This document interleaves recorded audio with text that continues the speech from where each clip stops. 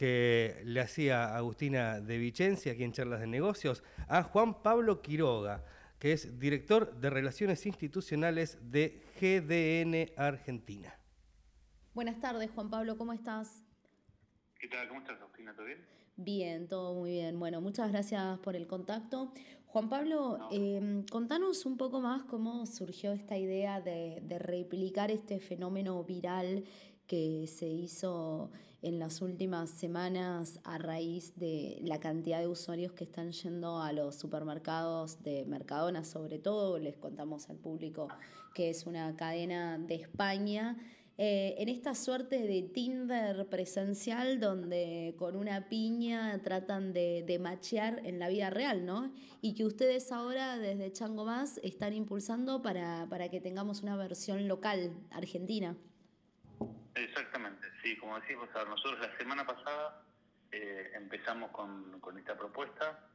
Te diría que, a ver, tiene como dos, eh, tiene por un lado el antecedente que mencionás vos y por otro uno más local eh, de la realidad, si querés, de, del retail en Argentina, puntualmente de las ofertas por un lado y de la, de la idea de poder hacer una propuesta lúdica digamos, para poder poner valor no solo en nuestras ofertas, sino también la experiencia de piso y poder revalorizar la experiencia de compra.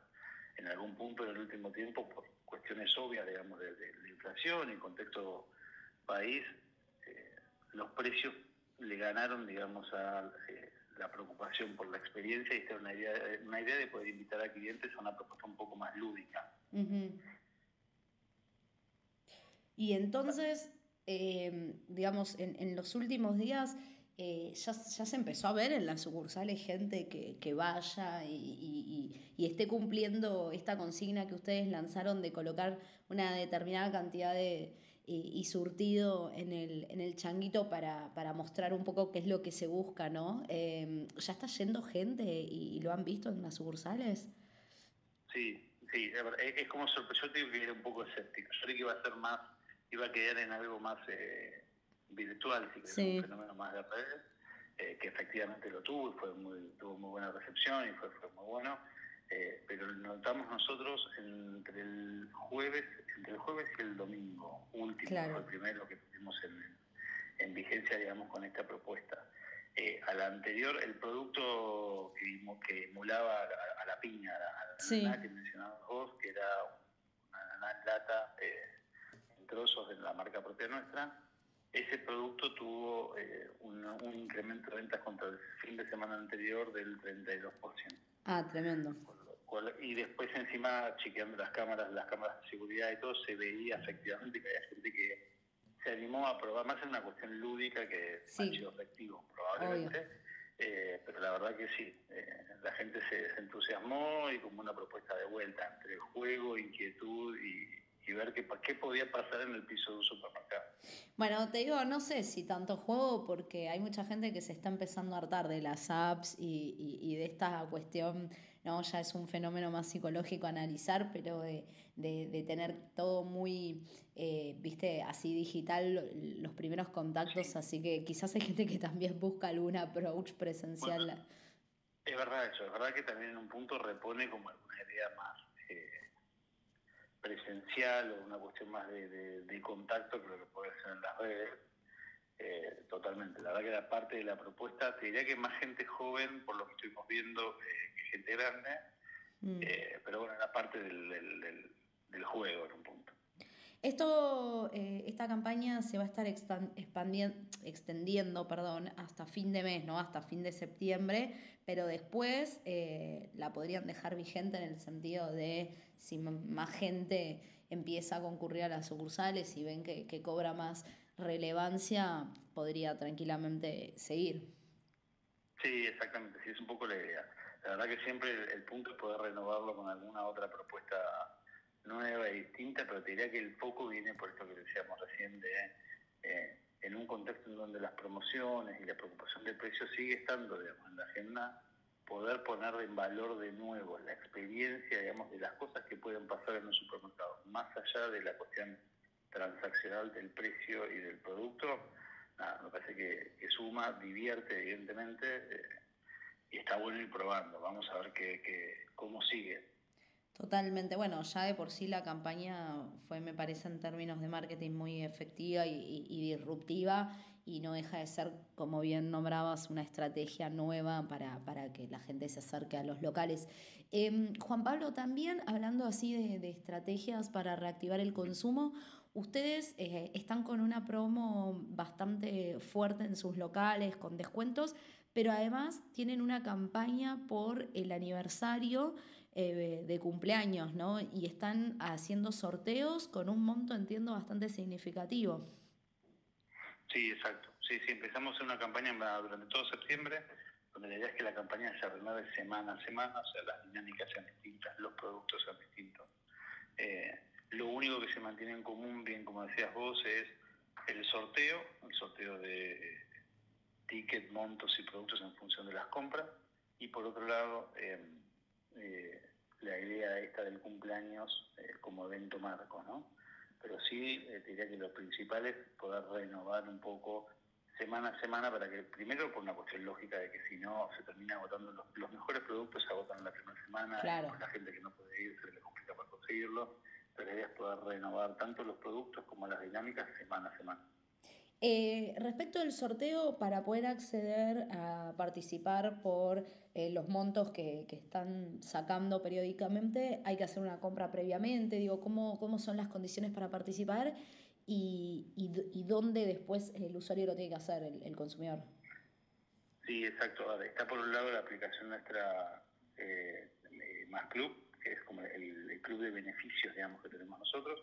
Y la idea es que se canalice a través de eso. Entonces directamente quedan registrados los datos del, del, cliente, digamos, que estuvo participando y automáticamente participa sin tener que requerirle nada adicional. ¿sí? Lo mismo pasa obviamente con másonline.com.ar. Pero entonces, para poder acceder al sorteo, no hace falta hacer una orden, o sea, tener una orden de compra, digamos, no hay que hacer una transacción, ¿o sí? No, no, sí, efectivamente compra, pero lo hace dentro de, eh, siendo un usuario eh, dentro del club de nuestro beneficio. Entonces, lo único, el cliente que no lo tenga, lo único que debería hacer es sumarse al club de beneficios, que directamente se inscribe de forma online, es absolutamente fácil, intuitivo, y no, requiere mucho más que algunos datos generales de ese cliente. Y después, al momento de hacer la compra, o cualquier compra que haga dentro del programa de beneficios, automáticamente eh, pasa a eh, ser parte, digamos, del, del sorteo. Perfecto, ahí ya de forma automática ya está participando entonces el consumidor. Eh, respecto de, más allá de las promociones que están ustedes impulsando, digo, ¿cómo viene el consumo para la cadena? ¿Cómo ven lo que queda del año? ¿Crees que, la reactivación va a llegar hacia fin de 2024? ¿Ya tenemos que ver directamente 2025? Eh, ¿Qué perspectivas hay por delante?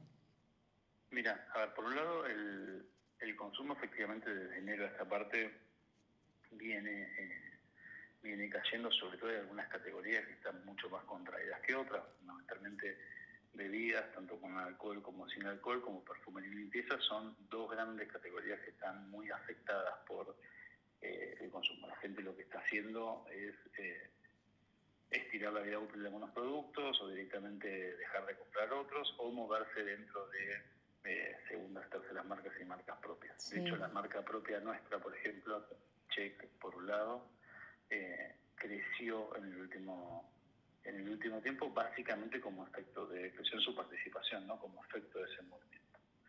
Qué es lo que debería pasar eh, en esta etapa del año como decís vos entramos en la etapa más fuerte para los supermercados. Para que tengan una idea del último eh, trimestre de, del año representa el 40% de las ventas en un periodo normal para una cadena, con lo cual efectivamente es la parte más eh, importante por el calendario comercial, fundamentalmente por Día de la Madre y Navidad. Sí, las fiestas. Y fin de año con algo de temporada, más las fiestas. Y con lo cual te diría que la expectativa es, eh, es buena, llegamos con... Eh, si querés, una menor presión de precio y una mayor actividad promocional, que era lo que había desaparecido en el último tiempo del canal, digamos, no había inversiones promocionales fuertes. Con lo cual te diría que la, expectativa es buena ahora. Eso lo que va a hacer en todo caso es mejorar un poco el, pulso del año. No vemos, digamos, que el año esté cerrando mejor que el año anterior, probablemente termine en los mismos términos, digamos, de consumo en el mejor escenario, asumiendo que vamos a tener una buena, un buen panorama, digamos, para la fiesta. Eh, Juan Pablo, para ya ir terminando y aprovechando que te tengo aquí del otro lado, te consulto por el impacto de, la rebaja impositiva del impuesto país. Eh, ¿Ya se ve algún efecto en los precios de las góndolas o, todavía no y tampoco va a ser tan inmediato? Y también te consulto por la entrada de productos importados. Eh, esta cuestión que, se hizo notar a partir de, marzo-abril, cuando el gobierno justamente eh, no, bueno, impulsó la entrada de, productos esenciales. Eh, ¿Cómo están ambas cuestiones? Mira, te, contesto de atrás para adelante. Primero con el, el, tema de los productos importados, efectivamente, digamos, por lo menos en el caso nuestro, nosotros en los primeros meses, digamos, entre marzo y abril, lo que pudimos hacer para poder acelerarlo y hacerlo rápido era traer más volumen de los productos que ya teníamos eh, comercializados y que importábamos. Eso fundamentalmente hay frutas y verduras, hay enlatados, enlatados tanto de conserva vegetal como, como pescado, que lo, lo más fuerte obviamente es el atún, eh, y hay algo también de pañales y perfumería y limpieza. Eso nosotros empezamos te digo, cuando te digo que traemos, empezamos a traer más es porque ya los teníamos registrados, los teníamos dado de alta y es lo que podíamos rápidamente accionar. Y después empezamos a trabajar en un mediano plazo, que es lo que va a estar empezando a llegar ahora, algo ya empezó a llegar de galletitas fundamentalmente, eh, de, eh, por el tema de los registros para empezar a comercializar con productos de marca propia. Bien. Con el tema del impuesto país eh, pasan dos cosas. Tiene que ser inmediato, sí. Eh, pero todavía hoy no lo ves, debería empezar a verse, te, diría que en los próximos 15 días. ¿Por qué? Porque la baja es eh, no es con lo que vos ya tenías producido o que ya tenías comprometido traer, sino que es necesariamente con lo que empiezas a comprometer desde la medida en adelante. Con lo cual estás hablando más o menos 20 días por lo menos hasta que logras embarcar, oficializar y traer ese producto y que ahí se ve ya efectivamente un producto más barato. obviamente ese producto más barato tiene un juego doble pone más presión por un lado, eh, te permite traer un producto más, eh, más barato desde el exterior de forma directa y le pone obviamente más presión a competidores locales de la industria que necesariamente van a competir con un producto más barato traído, digamos, de, otro, de otra parte del mundo, ¿no? Por lo cual eso debería ayudar en los dos sentidos, la baja de inflación. Bueno, Juan Pablo, vamos a ver qué pasa con este tema, lo vamos a seguir de cerca. Te agradecemos mucho por el contacto y ahí será hasta la próxima. No, por favor, a vos muchas gracias. Gracias, Juan Pablo. Bien, era Juan Pablo Quiroga, director de Relaciones Institucionales de GDN Argentina.